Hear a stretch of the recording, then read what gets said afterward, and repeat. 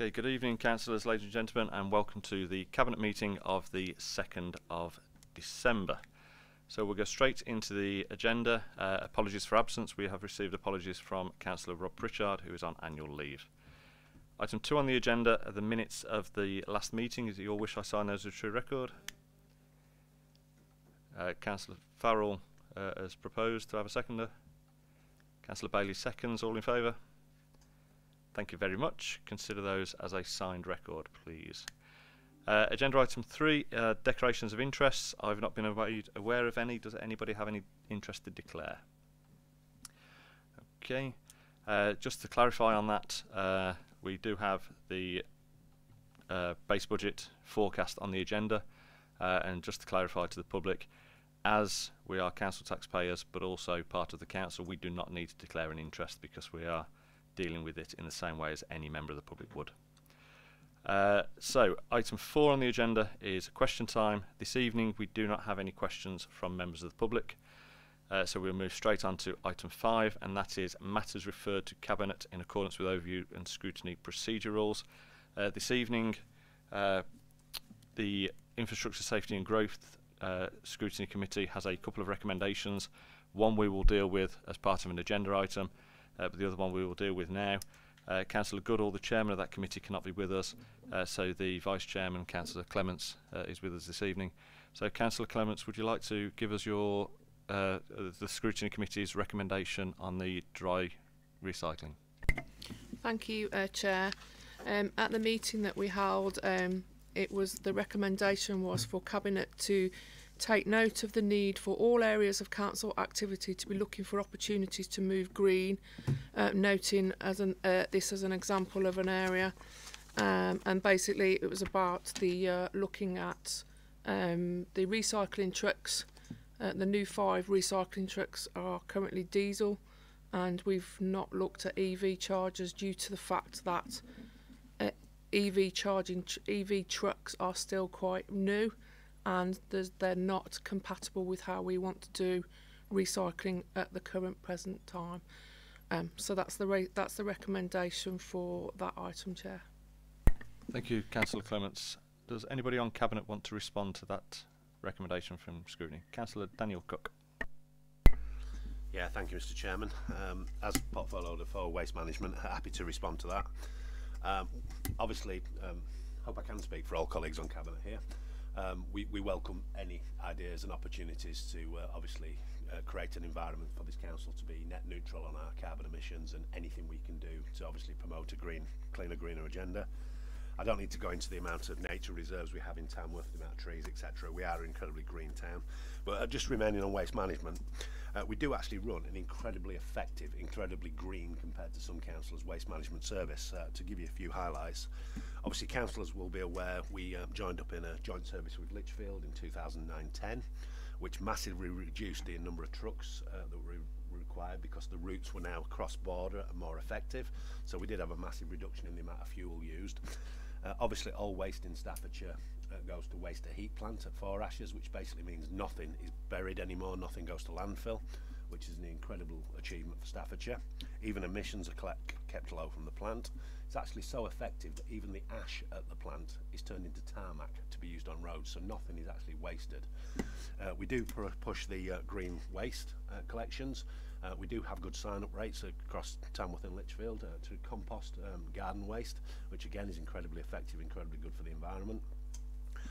So uh, I'll obviously take the point on we will look for all opportunities going forward to run the cleanest, greenest service we can across waste management and I hope across all elements of the council. We are fundamentally aware that at the moment uh, there isn't an electric bin truck that would effectively do the job we need it to do. The technology hasn't got there yet. I'm sure it will over coming years, maybe the next decade. And when those opportunities come around, I'm sure this council will be happy to look into is it effective use of taxpayers' money to get those electric vehicles. So yeah, uh, wel welcome the comment, wel welcome what's being requested, and obviously from I hope from all areas of the council, we'll look for every opportunity to get our emissions ca carbon neutral. Thank you, Mr. Chairman. Thank you. Any other comments from members of cabinet? Okay, I believe there is a single local authority in the UK that does use electric vehicles for their waste collections, uh, but uh, they're, they're significantly different to the to the operation that we run in. It's quite a, a small area, but I don't have the the, the full details. Um, okay, so if there's no further comments uh, fr- from cabinet, the the recommendation that Councillor Clements gave us uh, was to ensure that we consider uh, the green agenda in all areas, and the waste management was a, was an example of that, wasn't it? If I'm correct. Yep. Yes, Chair. The, the other thing I was going to add, sorry, Danny, was that the was the fact that the bags that we're going to be now using for dual streaming are not made in this country. Um, so that was a bit of a no nobody tendered in this country, so they're coming from abroad. That was the only other comment, Chair. Thank you. Um, excuse me. Uh, no, thank you for that, Councillor Clements. Um, so if I can, uh, if I can support the recommend uh, the suggestions that scrutiny have, have given us, and actually move uh, that cabinet acknowledges uh, the feelings of the scrutiny committee uh, and commits to looking at, uh, so to considering the green agenda uh, in all our decision making in all areas going forward. Uh, so if I can move that as a motion based on scrutiny's recommendation, could I get a seconder? Councillor Cook, all those in favour? That is unanimous. Thank you very much. Thank you very much, Councillor Clements, on that one. Uh, we will now move on to, if you can hold your next recommendation, we'll now move on to uh, the, the, the, full agenda in terms of substantive items. Uh, as Councillor Clements is here and Infrastructure Safety and Growth have a recommendation that relates to item 16 of the agenda. Uh, I'm going to suggest that we actually move that uh, up the agenda to uh, uh before we take item 6. Uh, so we'll now consider infrastructure funding statement, which is Councillor Doyle's paper, and then we'll go back to Councillor Clements for, for her recommendation and input. So, Councillor Doyle, could you lead us into item 16, please? Thank you, Mr. Chairman. First, I'd like to thank Richard Powell uh, for the work put into this report by himself and the team. The purpose of this report is to inform our Cabinet on the recommendations to the spending of Community Infrastructure Levy, or CIL, income and the publication of the Infrastructure Funding Statement. I'd like to quickly offer a brief history. The CIL was adopted at full council meeting held on July 2018 and came into effect on August of 2018. Also that the basis for the administration of CIL was brought before Cabinet in April of this year. Briefly, Cabinet supported the following recommendations. 5% of CIL income would be retained by the Council and applied to administrative expenses associated with CIL. Also, the Council retained the strategic elements and allocated funds to one or more infrastructure projects in the borough and as well a regeneration projects within Tamworth be set as the priority for spending for the strategic elements of CIL. The purpose of tonight's paper is a review of the largely factual report for infrastructure funding for 2020-2021. The Council has a requirement to produce an annual infrastructure funding statement to give communities a better understanding of how developer contributions have been used to deliver infrastructure in their area. A copy of of the draft uh, IFS report is included in Appendix A and contains the details around expenditure. So I move the following recommendations to Cabinet that we endorse that the regeneration projects within Tamworth remains a priority for spending for the strategic elements of CIL. Also that a further £6,208 be added to the neighbourhood projects budget for 2022-23 and finally, the draft infrastructure funding statement in Appendix A be approved for publication to the Council's website. Thank you, Mr Chairman. Thank you, Councillor Doyle. Uh, Councillor Clements, you have a recommendation from Infrastructure Safety and Growth Committee. Uh, thank you, Chair. I've got, I've actually got two. Um, the first one is that Cabinet regular, regularly review how to spend the funds accumulated um, because we were told there was an, an underspend that it, that the CIL hadn't been spent. And the process for member involvement and the spend of CIL is clarified by the relevant portfolio holder. And obviously Councillor Doyle was at that meeting. And if I can just quickly go through um, the clarification was sought in the following areas whether CIL funds could be used to provide additional EV charging points in council owned housing developments we've just completed two housing developments on the Kerria and on Tinkers Green, and that that still could have been used for infrastructure of EV chargers. Um, and whether the CIL funds accumulated could be allocated to town centre regeneration projects in the future. Um, so those are the two recommendations, Chair. Thank you. Okay, thank you, Councillor Clements. Uh, any cabinet members have any comments relating to Councillor Doyle's paper or to Councillor Clements's sorry, Inf Infrastructure Safety and Growth Committee's recommendations? Councillor Doyle.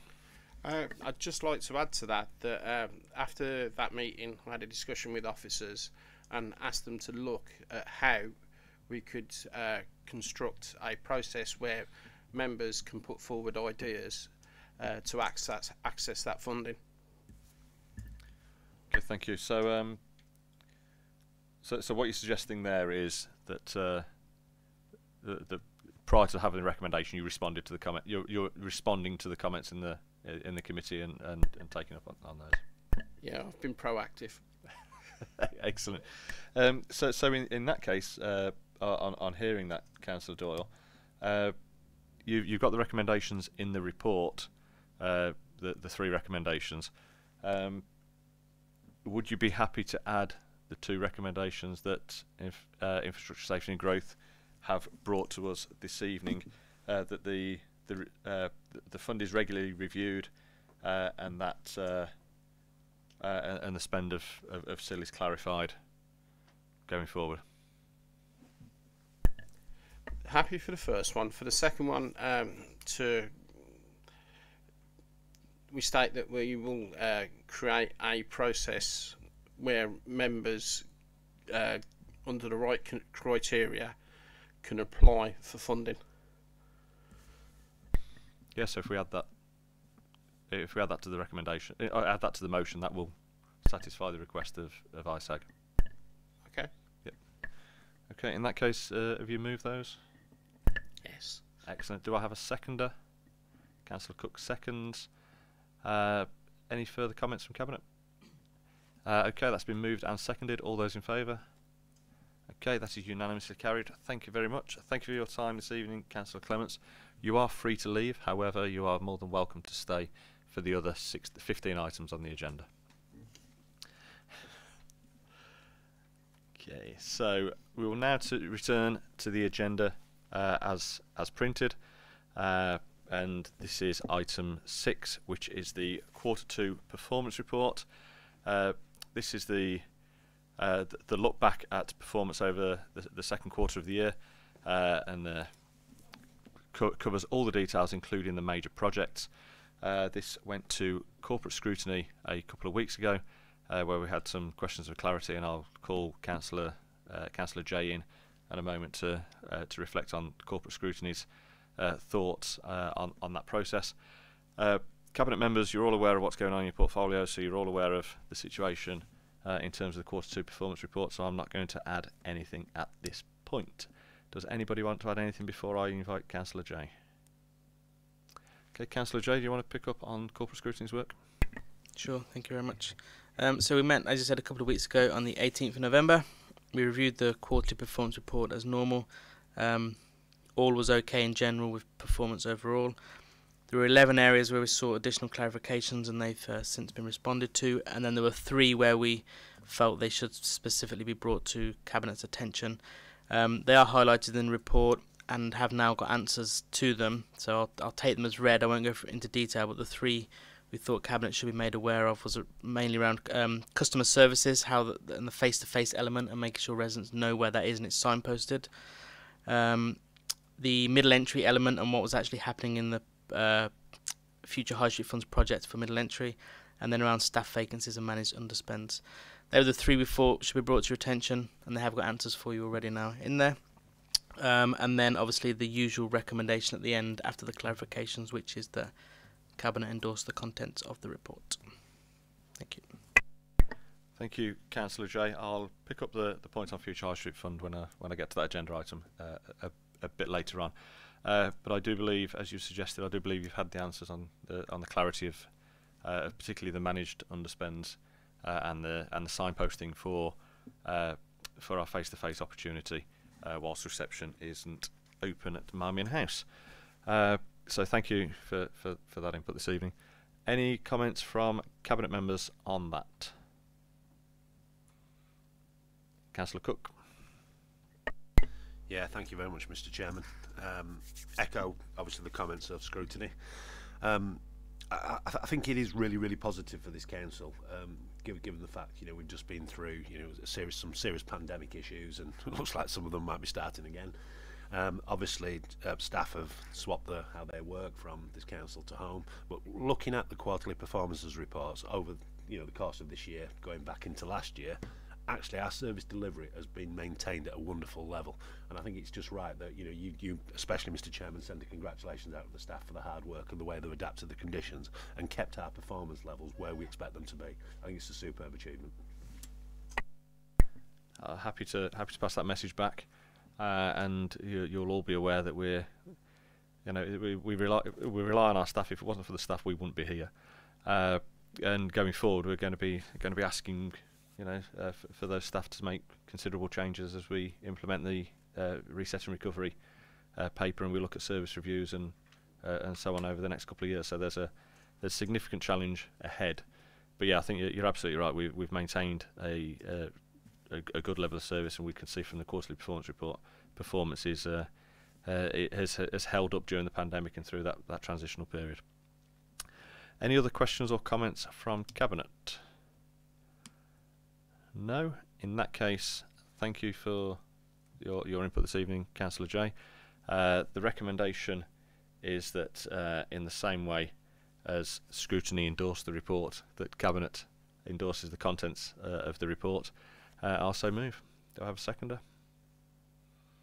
Anyone? Uh, Councillor Farrell? All those in favour? Okay, this is carried. Thank you very much. And again, thank you very much, Councillor Jay. Uh, same offer as Councillor Clements. You are welcome to stay uh, for the for the rest of the agenda, uh, but you may leave if you so desire. Oh, rain check, thanks. Cheers. Okay, item seven on the agenda is the budget consultation. Uh, this is my report. Uh, you'll notice the recommendations are that we endorse the contents and we take into account the findings uh, along with other sources of information when we go forward into the next stage of the budget. Uh, this year we did the budget consultation uh, in, in the methodology, including Appendix 1. However, we had an additional session with all of all, all councillors invited uh, to give uh, to give their views on the uh, on the consultation as well. There's some interesting comments if you look at Appendix 2, uh, which is in pretty much in verbatim of the comments received. Interesting comments about the vision and the direction uh, that was put out to consultation, uh, and how particularly how the town centre works and, and the function of. Uh, in terms of uh, some of the high level figures, uh, you'll notice on page 93 and 94 uh, of the pack, there's, there's some decent figures there and interesting figures there around people and place and around organisational priorities. So, big thing for me that jumped out uh, on the spend on services uh, are the two areas that respondents wanted to see more spend uh, were improving the economic, physical, and social environment uh, sorry, yeah, so social environmental condition uh, of Tamworth and also tackling antisocial behaviour, uh, but also less spending on voluntary organisations and charities, which which is interesting when we look at how we're going to engage uh, going further uh, and the key role that some of the voluntary organisations and charities have in in delivering for for the community.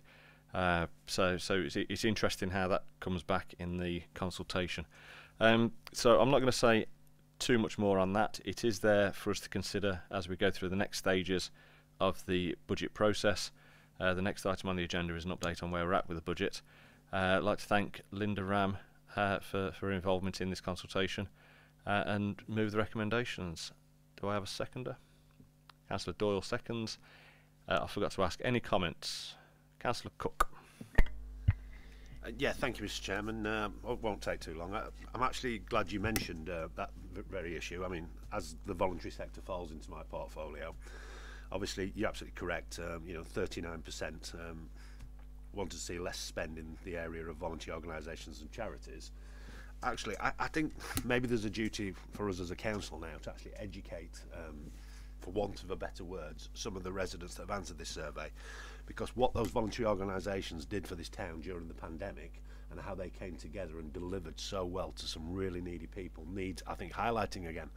Um, obviously, this is public consultation. The public have absolutely the right to say what they like. I just think there's an opportunity there for us to put something out, press-wise, to say, actually, the voluntary sector in Tamworth is more important than I think some people give it credit for. Uh, figure Joe gave me quite a while ago is there's nearly seven and a half thousand volunteers in Tamworth of some description of it. Which last figure I heard is actually more volunteers in just Tamworth than the whole of the rest of Staffordshire put together. It's such a crucial sector for Tamworth that I think we do need to highlight that it is more important. And certainly going forward into the future, we've learned that some of these organisations sometimes are better placed than we are to deliver some crucial services to some very vulnerable people, and we need to really look after that element. I always find these reports interesting reading. Um, obvi- obviously, sometimes you have to look through the figures a little bit. Perfect one there. Um, support was evident for to be financially stable as a council. 82 82% of respondents thought we needed to be financially stable. Well, I'd like to think 100% of people would like us to be financially stable, but that's just how the figures come out. Similar to the, you know, 80% of people would like our decisions to be based on evidence and knowledge. I would like to think 100% of people, but it's just how the survey works. So we, we have to be careful how we read it sometimes. But yeah, it's crucial information and it's information we need to be using. So thank you, Mr. Chairman. Thank you. Uh, and in terms of being, being financially stable, it's kind of the job. Yes. Day job. yeah, yeah. Uh, it's uh, it, it- it's what the council has to do. So whether it, whether it's a priority or not, that's it, it's kind of the job. Yeah. Uh, no, thank you very much for that. And uh, I think uh, my only other comment about the voluntary sector is we need to ensure that the voluntary sector is supported to do what it does best, and we need to be enabling that and make sure that as local government we don't actually get in the way of it because uh, there's a th- th- th- there's always an opportunity for local government to get in the way if it if, if it wants to. Yeah. So uh, so yeah, we need to be clear, clear on that. Any further questions or comments on the budget consultation? Okay, I've moved it. Councillor Doyle seconded. All those in favour? That is carried. Thank you very much. And that brings us on to the next agenda item, which is the base budget forecast. Uh, this is quite a a lengthy report if you go through it. Uh, the recommendations uh, are that the technical adjustments and repriced base budget uh, and indicative budgets to 26 27 are approved, uh, and you've got the uh, uh, appendices attached. That we consider that consideration be given to the policy changes and the capital programme as detailed in the report. Consideration is given to the planned changes in council tax, housing, rent for 22-23 as detailed in the report, and in compliance with the constitution of the council, uh, the uh, the, the leader uh, presented the budget workshop uh, to to all members and the proposals within it on the 1st of December, which was last night. Uh, I can confirm that we had a good attendance and all members who were in attendance were briefed on that, and the slideshow has been circulated. So, with that, uh, I'll just do a very brief position, uh, and that is you will all be aware uh, that in February this council approved uh, the, the current medium term financial strategy, uh, and we were predicting in year five, we were predicting a £7 million shortfall at that point. And we also adopted a five year capital programme for the General Fund, a five year HRA budget, and a five year HRA, sorry, Housing Revenue Account capital programme. Since then, a great deal of work has taken place, and there's also been other significant changes, and that brings us to the budget update in front of us this evening. So I'll be very brief because the detail is in the report, uh, and I recommend if you've got the time, all people, uh, anyone interested should should read this. Uh, but additional balances uh, than those forecast uh, in terms of an underspend of 1.2 million, uh, 1.25 million pounds has been realised. Ongoing savings this year in terms of managed underspend uh, is uh, is looking at 800,000 pounds uh, uh, underspend. Additional properties in terms of Band D council tax base, uh, and this is due to a number of reasons, both physically new properties being built, but also the number of properties who applied for council tax reductions was lower than we had predicted. We had predicted that to be slightly higher due to furlough and due to the uh, uh, unemployment situation and the uh, impacts of the pandemic. That wasn't realised, so as a result, we didn't get the, the, the level of applications that, that, we'd, that we'd budgeted for. Uh, so there's an extra uh, £53,000 uh, in, in, in there. Reset and recovery work stream, uh, which is the predominantly uh, the decommissioning of Marmion House, that decision we made, uh, and that is looking at saving 1.1 million pounds over the next five years. However, as I referred to earlier when I was responding to Councillor Cook, uh, the reset and recovery work streams will be producing other impacts on the budget. Uh, there may be some short-term costs uh, and longer-term savings, uh, but they will come out in addition to that 1.1 million pound saving from from moving from predominantly from moving from from Marmion House. And we've also uh, got a number of policy changes detailed in the report, which come to a, a, an impact on the budget of a, an additional 2.2 million pounds in cost over the five years. Uh, the budget, uh, the paper in front of us uh, does go into uh, the impact of the spending review. Uh, does go into what we know and what we don't know uh, from government in terms of business rates, in terms of business rate reset, in, in terms of other things like the fair funding review and the uncertainty around that, and the uncertainty around uh, new homes bonus, uh, and also goes into a bit of detail in terms of the reset and recovery paper. So, all in all, what that gives us now uh, in the in in the uh, uh, in the medium term financial strategy is if we look at a, a, central case, we need to find around 1.7 million pound to balance over, over the three year period, uh, with a shortfall of 5.4 million in year four, which was the old year five, which was 7 million. Uh, so that's a, a 1.6 million pound uh, improvement.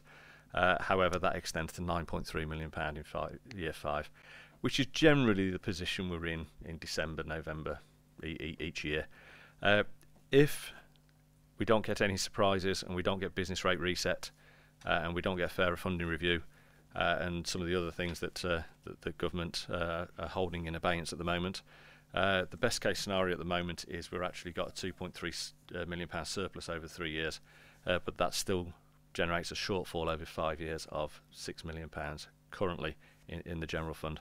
Uh, HRA, uh, we're looking at balances of one million pounds uh, in, in year three and a shortfall of 1.2 in year five. So the cabinet will consider what is in this report as we go forward in setting the budget. Uh, we will also consider the budget consultation that we have just discussed. Uh, the policy changes are included in this report, uh, which are being considered, and each one of those will be refined, worked on, and a decision will be made whether they're in the final budget or not as we come closer to it. Uh, and in the commitment uh, to engage all members, we will have a joint budget scrutiny, uh, which will be in January, February time before the full council considers uh, the, the final budget going forward. So with that, I'll move the recommendations uh, one to four, uh, and I'll look for a seconder, uh, Councillor Bailey, and ask Cabinet, do you have any questions or comments on the base budget forecast? Councillor Cook. Yeah, thank you, Mr. Chairman. Uh, I, I, I, think it would be right of me to say that, obviously, as me and you have discussed a few times, uh, when I ceased to be leader in February, I left just seven million pound hole and it's absolutely pleasing to see how hard you and the finance team have worked to get that going in the right direction. So it's just a heartily uh, from myself to say well done and let's keep up the good work collectively as a cabinet and senior officers and all members of this council. It, it is correct that you know we, we need to have a balanced budget, but as, as we know, and you, you'll agree with Mr. Chairman, we've practically looked at the same budget practically the last eight years. It balances in three years, it goes slightly adrift in year four, and then it goes all hell, haywire in year five. And it's been practically the same budget for about eight, eight runs. But our wonderful finance team do tend to sort these problems in year, and we can absolutely trust them to continue that work and sort it in year. So anyone who thinks when we approve these papers that's the job done, it isn't. The work goes on and on and on. So just a, a thank you from me, Mr. Chairman, for the work you've put in to get this going absolutely the right direction from what I left you. Thank you. Yeah, and thank you for leaving that seven million pound hole, Councillor Cook. Um, no, I think you're absolutely right, and I think the the report highlights the, the, the managed underspends and how our finance team don't don't let anything slip. And if there's a if there's a couple of pence left on the desk, they'll have it before before anybody else can can spend it elsewhere. Uh, so no, I uh, endorse your comments about the support that the the finance team uh, do give us. Uh, and you're absolutely right. This is a this is a constant piece of work. It isn't a there's your budget, you know, scribble down off you go. It's it's constantly under review. Uh, and that's why we, we have the quarterly performance report, and that's why that goes to, to scrutiny as well. But uh, thank you very much. Uh, any further questions or comments? Okay, that's been moved and seconded. All those in favour? That is unanimous as well. That is carried. Thank you very much. Uh, and I think this brings us on to the Future High Street Fund update, which I think is my last report for the evening. Um, Future High Street Fund uh, update is in front of you. This went through uh, infrastructure safety and growth uh, recently. Uh, so the key things, uh, just to just to highlight, is the procurement exercise has now been completed, and we have McBains as our lead consultant. Uh, the benefits you'll see from that is they're a uh, they they will be dealing with a multitude of things at the same time. so the projects have been quite linear so far, and we've been going through a process. Now we have that lead consultant on board uh, we can be we can run a number of different work streams uh, at the same time. So so the public will start to see uh, so, some physical action uh, as we as we get closer to to actually putting uh, plan applications in uh, and even a spade in the ground at some point. so so you'll see an acceleration in the project going forward. Now we have that consultant. on that consultant, the college have also gone out to procure their lead consultant uh, in terms of their uh, their proposed move and their build, uh, and they have also appointed McBains. They were two independent processes. We did ours. The college did theirs separately, uh, but uh, McBains applied for both of those and got them both. The key thing that jumps out in terms of uh, one of the reasons why McBains was successful was that their response to our tender request was a very localized, very specific response. It wasn't a generic response that we that we got from from some of the other uh, app applicants or, or tenderers. Um, so, if I may, very briefly uh, touch on a few a few points. The college uh, part of the element of the project uh, was uh, was successful in the first round of funding uh, in terms of getting that project to a stage where they could bid for a second round. That bid was submitted on the 7th of October. Uh, it was submitted ahead of the deadline, uh, so that is going through as we speak. So we're anticipating feedback on that early in the uh, in the new year. However, the works around uh, legal agreements, heads of terms with the co-op uh, for our acquisition of that site uh, are are in process, and we expect that to be concluded in in this this financial year, so we can take possession of uh, of the co-op site itself. And that also means we can start work on the enterprise centre, which is, for those who don't know, the old part of the co-op building, the bit that faces onto Colehill. Uh, and looks quite nice and pretty. So, so we'll be able to get get get started on work on the on the enterprise centre once we've once we've got ownership of that building. Uh, part of that deal is uh, obviously we purchased that that site. Uh, and you'll notice that the buildings opposite uh, the co-op, opposite the, the Hayes Travel uh, area, which also belong to the co-op, are being refurbished and they're being, being brought into uh, back up to scratch and brought back into use. So that's a, a, a secondary benefit from uh, from the Future Street Fund project uh, that isn't directly funded by by the project itself or form part of the project. So middle entry.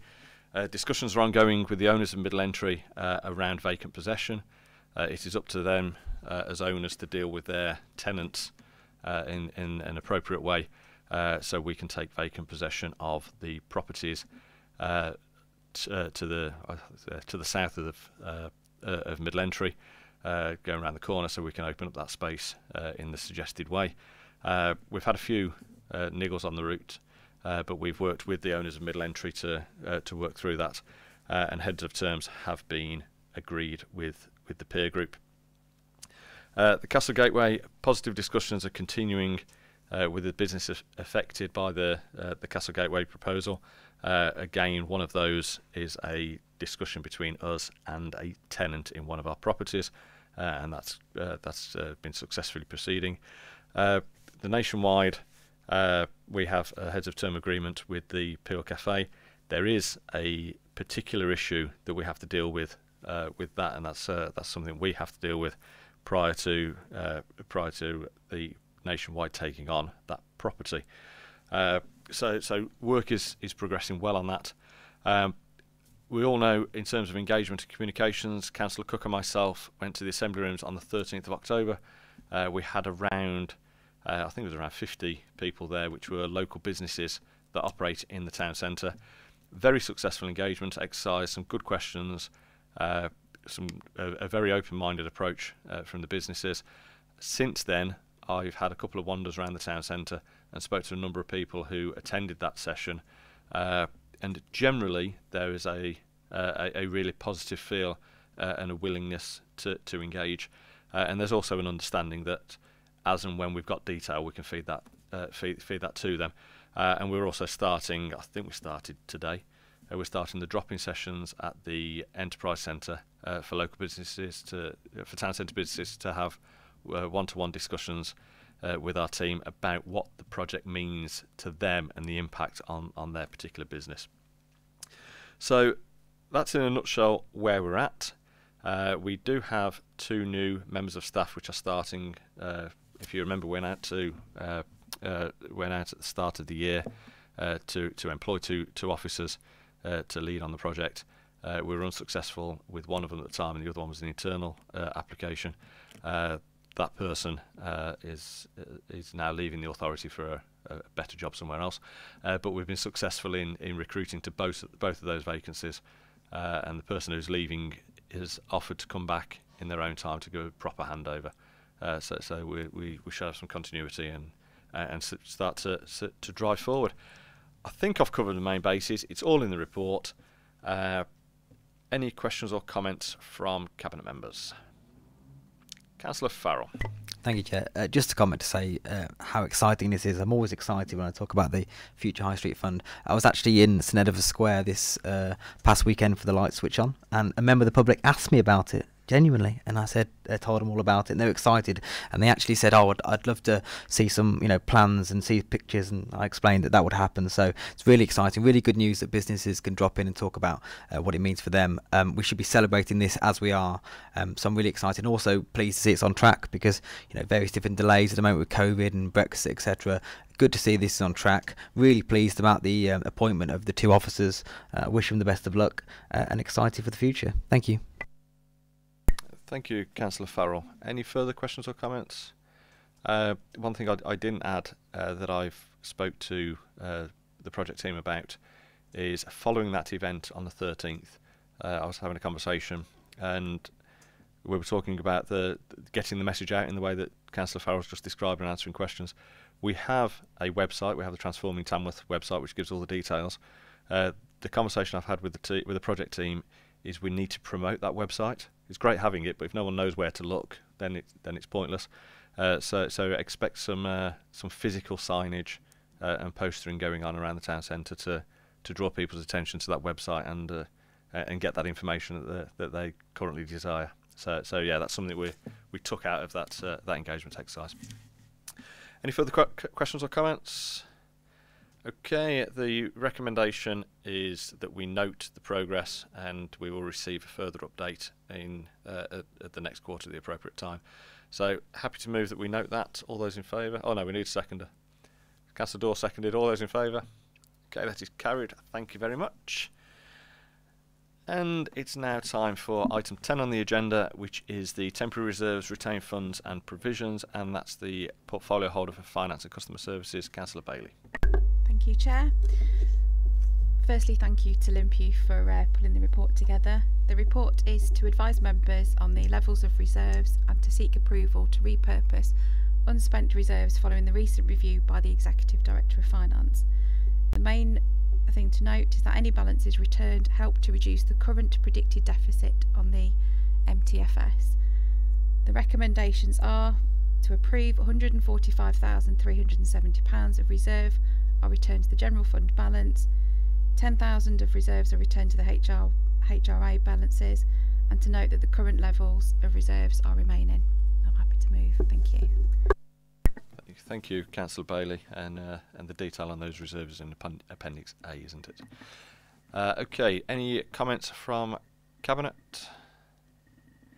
No. it's Statements of facts. Yeah. Uh, did you say you'd move that, Councillor Bailey? I did. Uh, in that case, do we have a seconder? Uh, Councillor Cook was in there first. Uh, so if there are no further questions or comments, uh, I'll take it to the vote. All those in favour? Okay, that is unanimous. That is carried. Thank you very much. We next have the Treasury Management Strategy Statement and Annual Investment Strategy Mid-Year Review Report 2122. Councillor Bailey. Thank you, Chair. The report represents to members the mid-year review of the Treasury Management Strategy Statement and Annual Investment Strategy. The report complies with the requirements of CIPFA, which is the Code of Practice on Treasury Management, reporting Treasury activities to, mem- to members at least twice a year, but we try and do it quarterly. We report separately twice on the outturn report in July and this half yearly report in December. We also report Treasury activities in the Health Check report quarterly to Cabinet. The main issues to note are the Council complied with the professional code, statutes, and guidance. There are no issues to report regarding non compliance with the approved prudential indicators. The investment portfolio yield, excluding property fund returns for the first six months of the year, is, is 0.026%, compared to the three month LIBID benchmark of negative 0.043%.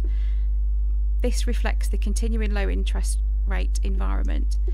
The aim of this report is to inform members of the Treasury and investment management issues to enable all members to have ownership and understanding when making decisions on Treasury ma- management matters. Training on Treasury management issues would, was delivered to members in November 2019, with training on the corporate capital strategy in February 2020, and further training is planned in February 2022. The, approval, the approved limits within the annual investment strategy have not been breached during the six months to September 2021.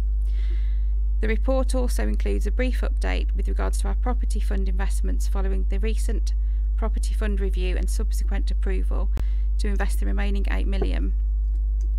At the end of October 2021, we invested a further 4,057,000 with Threadneedle Property Unit Trust and 4,056,000 with Hermes Federated Property Unit. It's recommended to approve the Treasury Management Strategy Statement and Annual Investment Strategy Mid-Year Review Report 2021 2022. Happy to move. Thank you, Councillor Bailey. Uh, any questions or comments on the report itself? Okay, I only have one point. Uh, the recommendation as printed, uh, am I on the right report? Yeah, Treasury Management, yeah. Uh, the recommendation as printed is that the Council be requested to approve the Treasury Management Strategy Statement for Annual Investment Strategy Mid-Year Review Report 2122. That will go to full Council on the 14th of December. So the recommendation uh, from this, uh, from, from Cabinet, really should be that Cabinet recommends to, ca- to Council that they uh, that they approve the Treasury Management uh, strategy. Uh, so, so if we move that as a recommendation, that that gives Cabinet's endorsement uh, for, for for Council to to be requested to approve. So, if we just insert that into the motion, then then that covers that off. Okay. So any yeah yeah it's uh, yeah it's uh, it's where we, we take the report to both both places. You just need to sort it out in the motion. Uh, Councillor Cook. Yeah, just just to agree, Mr. Chairman, absolutely. It's for this cabinet to uh, agree this report, but then go ask council to approve it because it does need council approval in 13 days' time. So yeah, I think you're absolutely right in what you're saying there. Thank you. Okay, so if we amend that to uh, that, that, that cabinet cabinet recommends the council that they approve it, yeah. So we'll change that. Okay, so you're happy to move that with the amendment? Yeah, happy to move with the amendment. Okay, any questions or comments or a seconder? Councillor Cook seconds. All those in favour? Thank you very much. And once again, thank you to the staff for the work they do around treasury management. Item 12 on the agenda is the council tax base. Uh, Councillor Bailey. Thank you, Chair. The Council Tax Base 2022 2023 report is the calculation of the council tax base is a statutory requirement to inform the council's budget, its setting process, and that of our council tax preceptors. It has been calculated as 22,968, which is an increase of 602 Band D equivalent since last year. The current year collection rate dropped to 97.4%, which is due to the effects of the pandemic. However, current levels indicate that collections should be back to the anticipated pre pandemic levels. The recommendation to approve is that Tamworth Borough Council resolves its calculation of the council tax base for the year of 2022 23 to be 22,968. Happy to move. Okay, thank you. Do I have any questions or comments on that? Okay, that's been moved. I'm happy to second that. All those in favour? Okay, that is carried as well. Thank you very much. Local Council Tax Reduction Scheme 22-23. Councillor Bailey. As members will be aware, a review of the cur- current council tax reduction scheme was planned during 2020 with the aim to finalise a new scheme for consultation that autumn. However, in light of the impact of the pandemic on the scheme, the review was postponed until 2021. It is now suggested that the review be postponed until 2022, when the situation will be clearer. As such, no changes to the current scheme are recommended. This approach was considered and approved by corporate scrutiny on the 25th of August 2020 and Cabinet on the 10th of September 2020 and Council on the 15th of December 2020. The proposal was to replace the current traditional scheme for working age claimants, which was modelled in 2012, based on the National Council Tax benefit and has had various amendments made annually to continue to align to legislation changes in housing benefit. The national scheme regulations continue for pensioners, which mirror the obsolete council tax benefit scheme. There are two recommendations to approve. One, that council consider and endorse or otherwise the proposed recommended changes, which are detailed below. Two, that the planned review for the introduction of a banding scheme for council tax reduction be deferred until 2022 and that the current scheme for working age customers continues to be aligned to applicable amounts with those of housing benefits for 2022 23. Happy to move, thank you. Okay, thank you. If I may, uh, same points as I made on the last one, uh, that, that that cabinet recommends this to council in terms of it, in terms of our decision uh, this evening. Any questions or comments from cabinet? Councillor Cook. Uh, Just so I understand this report correctly, Mr Chairman, um, there are no changes to last year's scheme. It's, we've consulted with the public. Well, technically, if there's no changes, we've consulted two years running with the public. So, obviously, we've consulted with the public. There's no proposed changes to what council approved last year. So, I think let's just get on with it. Absolutely, I think it's a statement of fact at that point. Thank you very much, Councillor Cook. I, I tend to agree, uh, and I think in terms of the the delaying uh, or the deferral, the the world we're living at at the in at the moment uh, has led us down that, that route, and we, we still need to understand the, the, the impact of the pandemic on, on our day to day life. So yeah, know, yeah, yeah. Any further questions or comments from cabinet? No. Okay. Councillor Bailey has moved uh, the recommendation, and we'll insert the words that cabinet recommends this to, to council. Uh, seconder, Councillor Cook. All those in favour? That is carried as well. Thank you very much. Write-offs, 1st of April to the 30th of September. Councillor Bailey. Thank you, Chair. This is the quarterly update report and details the debt written off for quarter two of the 2021-22 financial year. Council tax £4,469.48, pence. business rates zero write-off, sundry income £802.72, pence. housing benefit overpayments £9,054.62, pence. housing £67,526.64. Write-offs are not comparable levels to the previous year in respect of council tax and business rates. However, the revenues team have reported sound income collection performance for the period, which is, you know, which is great given the current circumstances. Whilst reported collection rates are marginally ahead of target, at the moment it is still too early to know what effect the pandemic will ultimately have on the economy and residents' ability to pay in the future. It should also be noted that collection levels for prior year debts have returned close to normal levels. In terms of the debt written back onto the accounts, there are a number of scenarios whereby if we receive positive information, we will pursue the debt again, even if it's been written off previously. This is our duty as we are accountable to all the council tax ratepayers and business payers in Tamworth. The pandemic has affected people in a number of ways, and many of our customers continue to be financially impacted by the crisis. But it should be noted that at present, we would not consider the write off debts unless we have pursued them to the fullest extent and as a last resort.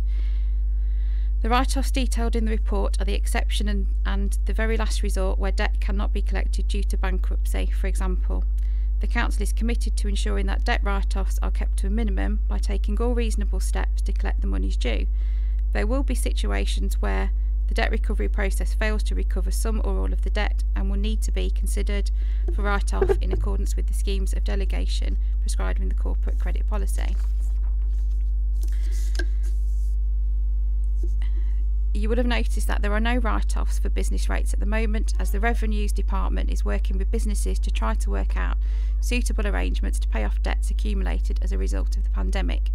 Likewise, the same principle applies for both council tax and sundry income balances, and at present, write offs are not significant at, at this stage. Thank you. Thank you, Councillor Bailey. Uh, I think the, the important thing for, for, for members and the public to look at are the appendices, uh, because that does explain uh, in, in reasonable detail why, why these are non-recoverable uh, and why we're going to, to write those off. Any questions or comments from Cabinet? No? Okay, the recommendation has been moved. Do I have a second? Councillor Doyle seconds. All those in favour? That is unanimous. That's carried. Thank you very much. Item 15, the appointment of external auditor, Councillor Bailey. Thank you, Chair. The report advises members of the options, processes, and legislative requirement to appoint external auditors for the accounting periods from 2023 to 2024 and seeks member endorsement of the recommended option for subsequent Cabinet and Council approval. Local authorities are required under legislation to appoint their own external auditors for the accounts from 2023 to 2024, and this decision has to be made by full council. The Local Audit and Accountability Act 2014 requires local authorities to decide between opting from one of the following two options available, which is as, as detailed in, a, in the report, namely option one, to utilise public sector audit appointments under the appointing persons regime Local Audit Regulations 2015, or option 2, which would mean undertaking our own procurement exercise. Option 1, outlined above, provides the most cost effective option and provides for greater opportunity in achieving lower audit base fee due to economies of scale. The costs of undertaking our own procurement exercise would be higher than using the PSAA route. It should be noted that until the procurement exercise has been completed, it would not be possible to identify the financial impact of the process and audit fees of 2023 2024. The main risks to, to the authority are failure to appoint an auditor and not achieving VFM in the appointment process. These risks are considered best mitigated by opting into the sector led approach through PSAA. In addition, the process set out in the report and the recommendation should ensure compliance with the Local Audit and Accountability Act of 2014. The procurement process is for a contract of five years. A decision to become an opted in authority must be taken in accordance with the regulations and by full council. If we decide to join the scheme, we must inform PSAA by returning the form of acceptance no later than midnight on the 11th of March 2022. The LGA has provided further information and this is attached in the report as Appendix 1. This provides detailed arguments in respect of the procurement exer exercise which applied in 2017. The recommendations are 1. The Cabinet recommends to Council that the authority opts into the appointing person arrangement made by public sector audit appointment for the appointment of external auditors and that the Executive Director of Finance confirms our interest in undertaking the opt-in appointing process following ratification by Council and has delegated powers in relation to the appointing process. Thank you. Thank you, Councillor Bailey. Any questions or comments from Cabinet? No. Okay. Councillor Bailey has moved the recommendation uh, and in already inserted the additional wording uh, around cabinet rec- recommending to council. Uh, so, do I have a seconder? Anyone? Councillor Doyle. Uh, all those in favour? That is unanimous. That's carried. Thank you very much. Uh, and that brings us on to item 17 on the agenda, which is the revised private sector housing enforcement fees and charging policy. And this is uh, portfolio holder for regulatory and community safety. Councillor Doyle.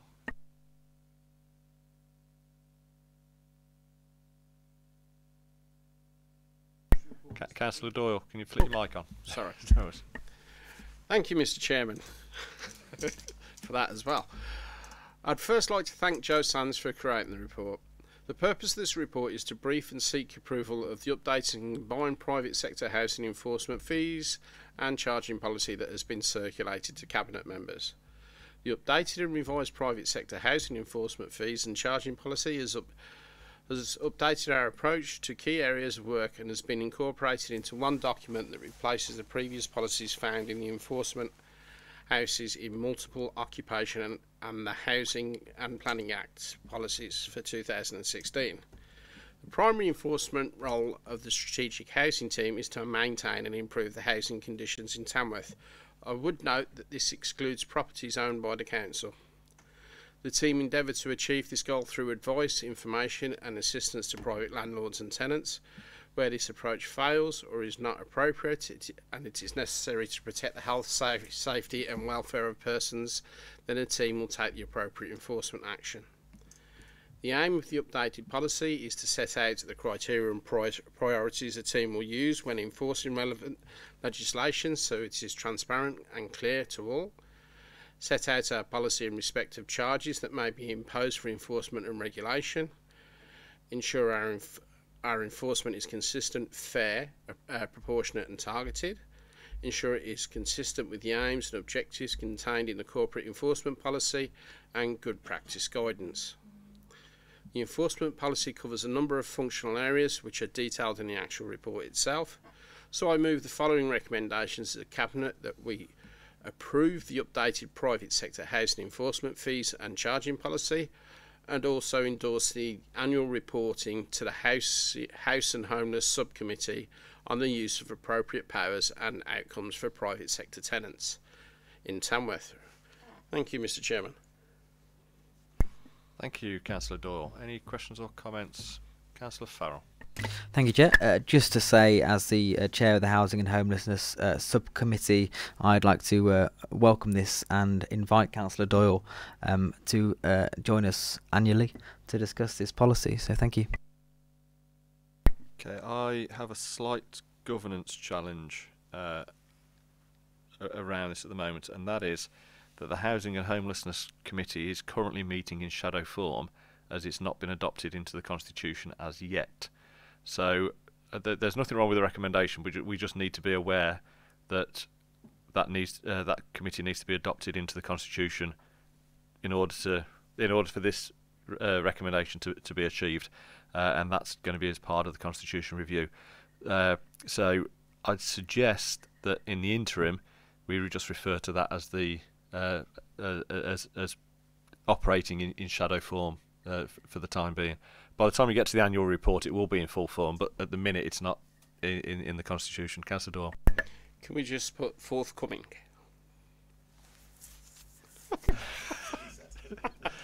Uh, yeah, I think that will that will suffice. Yeah. And I'll be proactive and I'll put a date in the diary for uh, 12 months' time. Excellent. Any further questions or comments? No. Okay. So you've moved that uh, with, with the insertion of the word. Uh, Councillor Farrell. Uh, Councillor Farrell is seconding. All those in favour? That's unanimous as well. Thank you very much. And I believe that concludes our agenda this evening. Thank everybody for their input and thank the officers uh, for the work they've done in preparing this, this evening's meeting. And I will close the meeting now. Thank you very much.